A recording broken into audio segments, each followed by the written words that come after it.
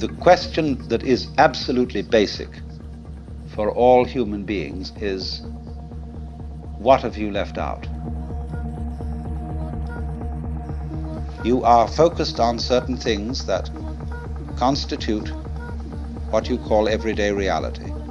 Look, you single out people and you see them sitting, sitting, sitting all around. And you know there are things that are really there. And then behind the people are the houses or whatever we live in, and the, the earth, and behind all that, the sky, and so on.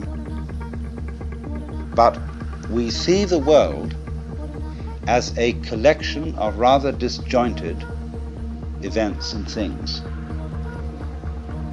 And I might say to you as you came in here today, now, my goodness, you all forgot something.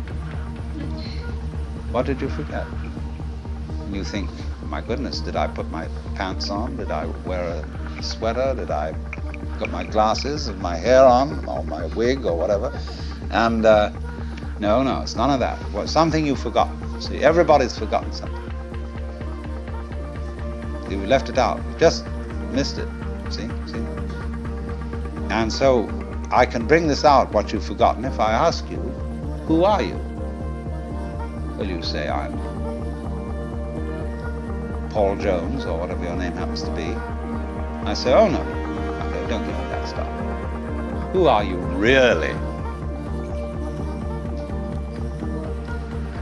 Um, whoa, of course I'm just, I'm just me. No, I, don't give me that. I, I don't want to hear all that nonsense. You're, you're playing a trick on me. Really, deep down, who are you? I don't know. Well, that's the thing to find out. That's the thing that's been forgotten. See, that's the underside of the tapestry, the thing that's been left out.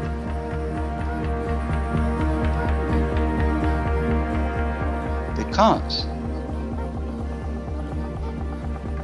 what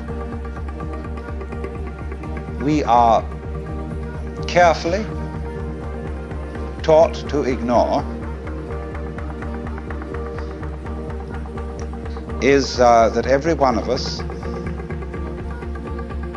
fundamentally, deep, deep inside, let's put it that way, is a an act of, a function of, a performance of, a manifestation of the works. The whole blinking cosmos, with all its galaxies, and forever and ever and ever, whatever it is beyond that.